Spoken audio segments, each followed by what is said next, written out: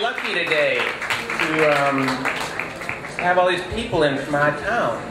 Emily Rapp and Rob Roberge, Gina Frangello.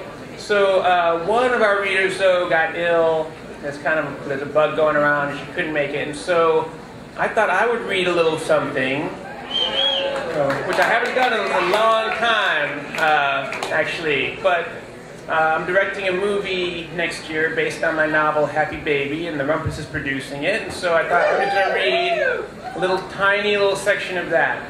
Um, I'm going to start right in the middle, so there's no context. Yeah. And uh, I'll just say that uh, if you were reading, you would see that Theo is 22 and Mr. Gracie is 45. That's all I'm going to say. Interior, uh, interior bus, night. The noise of the bus is overwhelming. At first, Mr. Gracie has his newspaper open.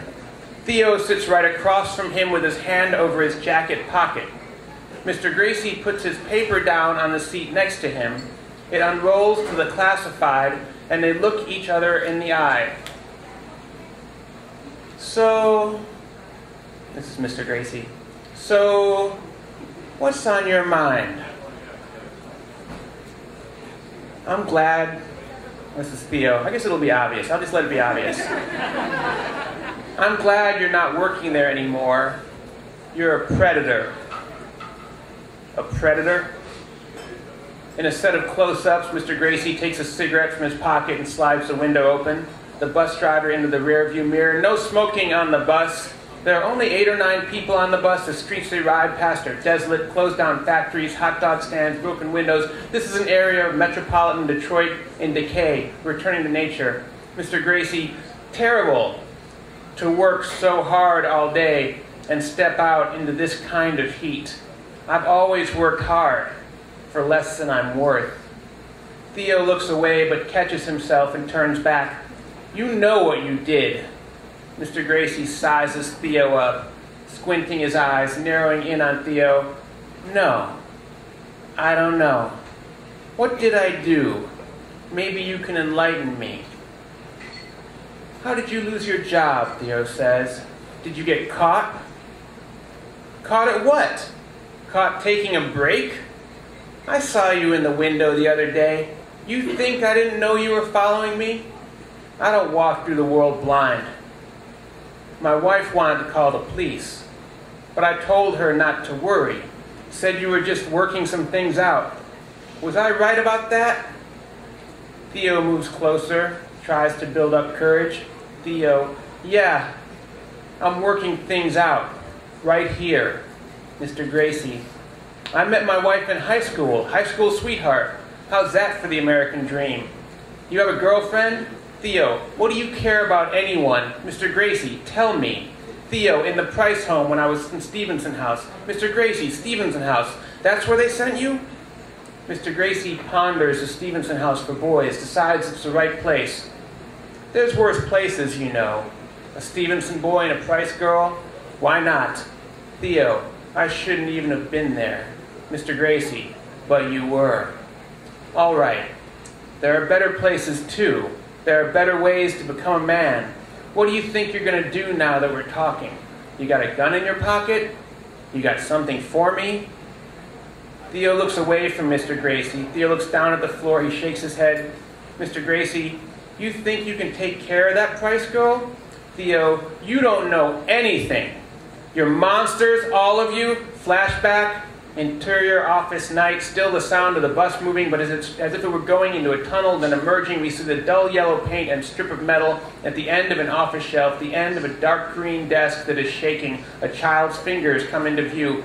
End flashback, interior bus, continuous, the polished metal floor of the bus. They ride in silence for a while. It's hard to know um, what Mr. Gracie has said and what Theo has heard, but something in Theo is broken. Mr. Gracie, that's a big city out there. Eat a man alive. Theo, looking off, talking both to himself and Mr. Gracie, I promised her, Mr. Gracie, when I first started at Western a long time ago, before you were there, there was a boy named Michael. Michael had boils on his face the size of gumballs. He wasn't good at sports, and he wasn't smart. And the other kids beat him down in the showers.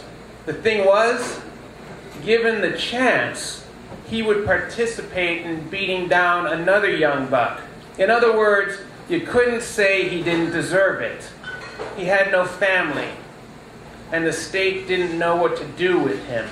He had no talent, and no strength, and no character.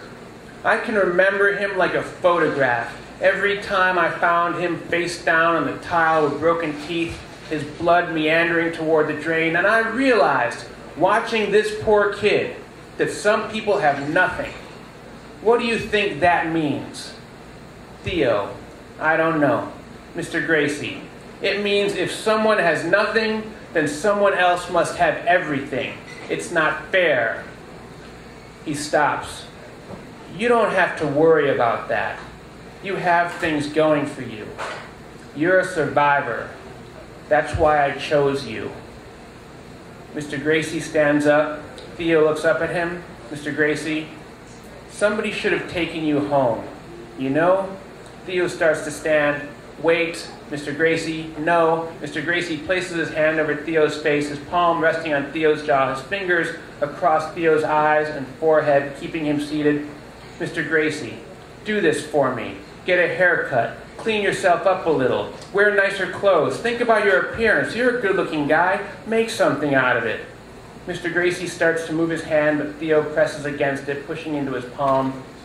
Mr. Gracie, don't follow me anymore, Theo. I can't take care of you. I have my own family. Go home.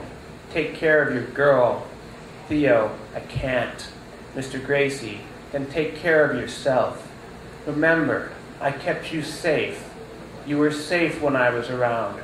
None of those boys did anything to you when I was there. You know I kept you safe, right? Theo nods his head. Mr. Gracie, that's right. But you're on your own now. Mr. Gracie pulls his hand away, slaps Theo's leg with the rolled newspaper. The bus door opens, discharging a loud metallic sound. Mr. Gracie steps out into the street, and we're left with Theo. The driver stares at him in the rearview mirror as the bus door closes. We can hear the sound of boots in a hallway coming closer. Interior Theo's apartment, night. The orange glow of the streetlights filter in around the drawn window shade as Theo steps into the apartment. The sound of Maria's breath fills the room. Theo steps close to her. He's standing over her, and as he adjusts to the light, he can see her eyes are open, and she's looking at him. He sees the makeup and the dark bruise, the shape of a handprint on her shoulder. Theo, so that's it then. You're leaving me. He takes his clothes off, folds them carefully into the milk crates, hangs his jacket in the closet. He's being very methodical. Theo runs the water in the bathroom, waiting for it to get hot, then soaks a towel. He lathers with soap and shaves carefully. When he's done, he looks at himself in the mirror, then pulls the blade from the razor and makes a tiny cut on his shoulder. Then he cuts himself three more times. He runs his fingers over the wound, pressing on it to make it hurt. His mouth opens as if he were trying to swallow the world, his eyes closed. He leans forward against the mirror. Theo climbs into the mattress with Maria. Maria, did you do it? Theo, we talked. Maria turns to him. That's not what you said you were going to do. Theo, I wanted to. Maria, you're a coward.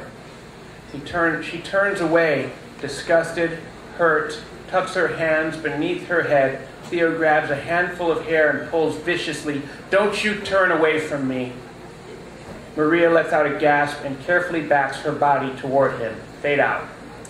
Thank you.